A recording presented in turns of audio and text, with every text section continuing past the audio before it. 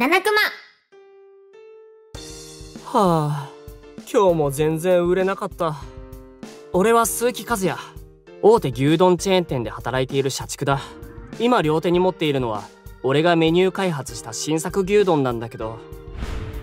俺が働いているブラック牛丼では半年に一度全社員に新商品開発のチャンスが巡ってくる。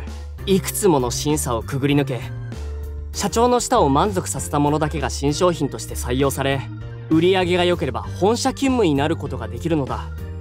スキやったな。え？スーキの考えた牛丼が新商品として採用されたぞ。本当ですか？ああすごいじゃないか。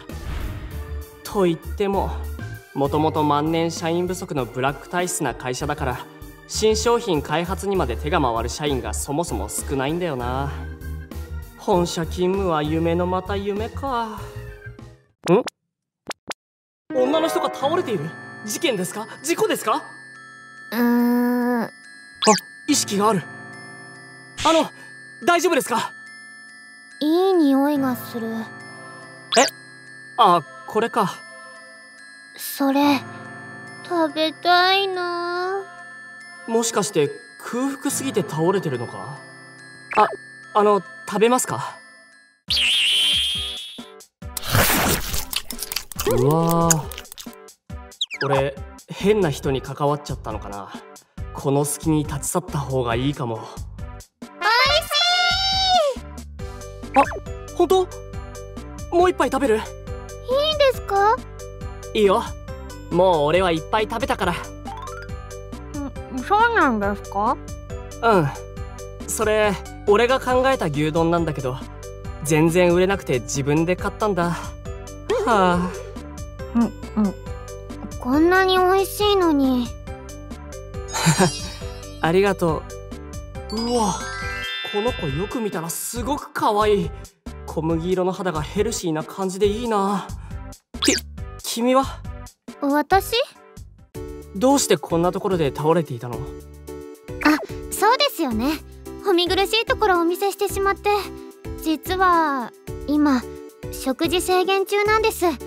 でも耐えられなくなっちゃってこっそり美味しいものを食べに行こうとしたもののお財布を忘れてしまって。もしかしてお腹が減りすぎて倒れちゃったの？はい。こんなにスタイルがいいのにまだ食事制限をしてるなんてストイックだな。モデルさんとかなのかな？あの本当に牛丼とっても美味しかったです。私が今まで食べたもので一番美味しかったです。空腹は最高のスパイスって言うもんね。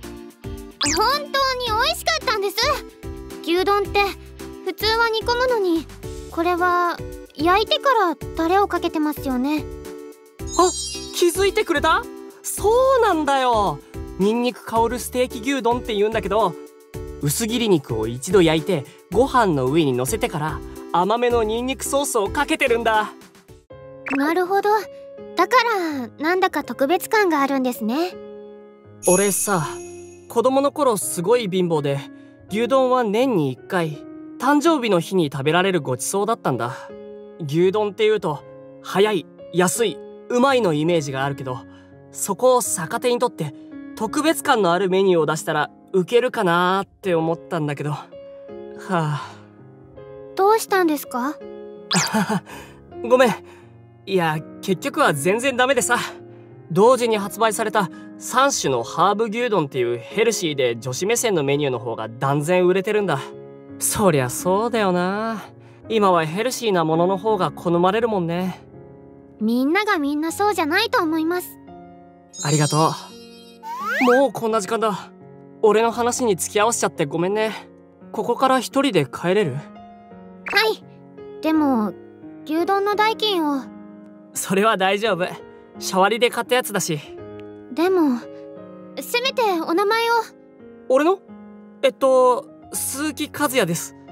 君は？ののこです。また会いましょうね。和也さん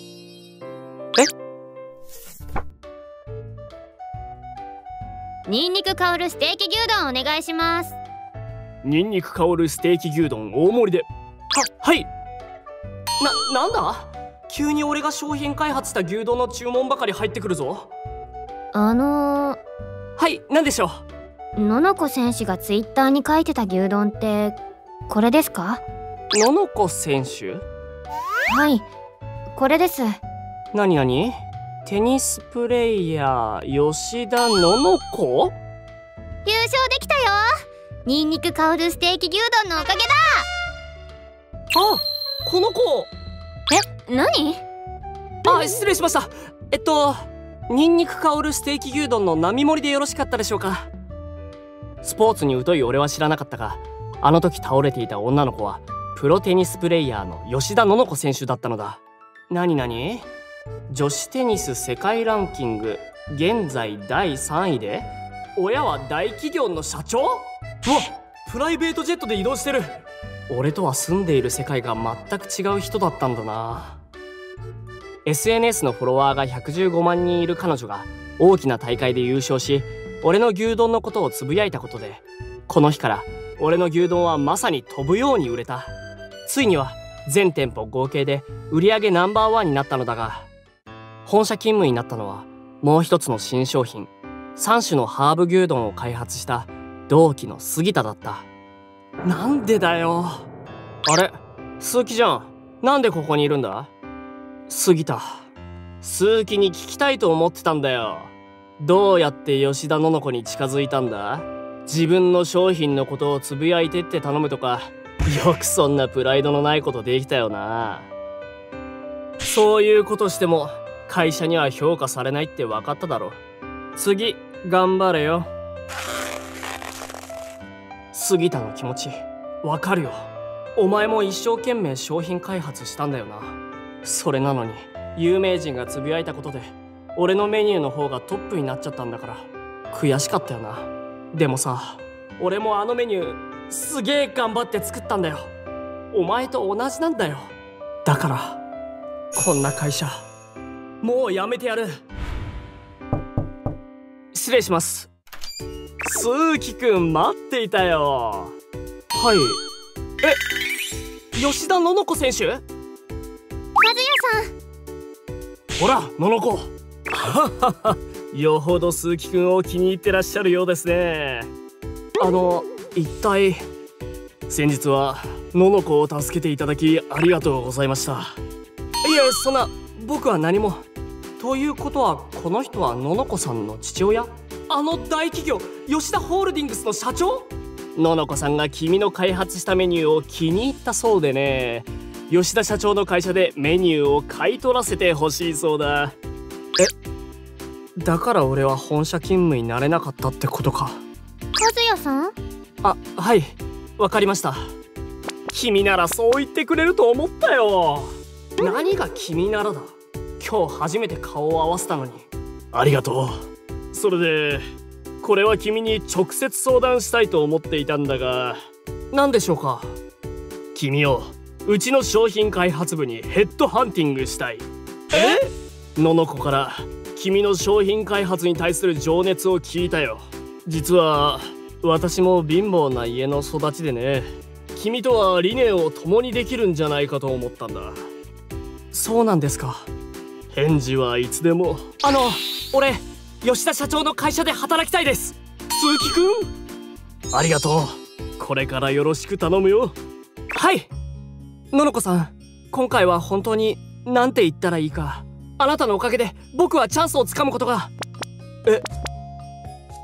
パパばっかり和也さんと話してずるいです。私が和也さんにお会いしたくて会社に伺ったのに。え？私よりもパパの申し出の方が魅力的でしたか？いいやそういうわけじゃ。まさかこんな風にまた会えるなんて思わなかったからびっくりしてそのまた会えて嬉しかったよ。本当？ううん。ということは私と結婚を前提にお付き合いしてくださるということですね。え？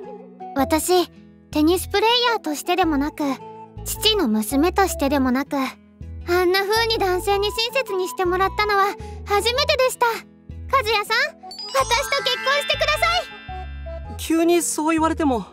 では私にもチャンスをください。チャンス？はい。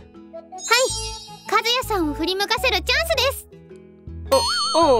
うん。いいけど。私これから頑張りますので覚悟してくださいね最後までご視聴いただきありがとうございます。胸キュン漫画七熊では思わずキュンとするような恋愛漫画を毎日公開中。ぜひぜひチャンネル登録よろしくお願いします。またね